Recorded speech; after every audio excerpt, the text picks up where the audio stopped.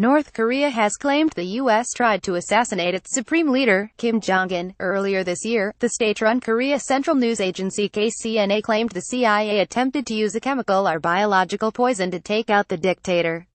The alleged attempt shows the U.S. is the main culprit behind terrorism, it said.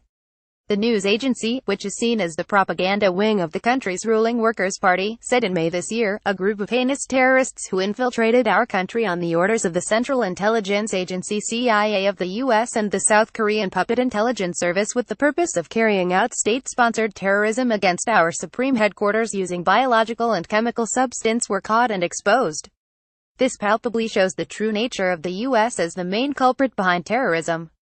Britain are preparing for war with North Korea. KCNA also claimed the U.S. changes its colors like a chameleon in order to justify overthrowing governments in other countries. It accused Washington of using the war against terrorism to justify its interventions in Afghanistan, Iraq and Libya. North Korea's ongoing missile tests have deep intentions with the U.S. and led Donald Trump to threaten to totally destroy the communist state.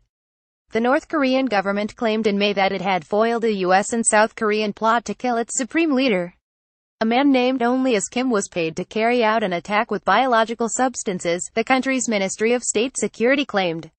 The CIA refused to comment on the reports. North Korea has a history of making contentious statements that cannot be verified.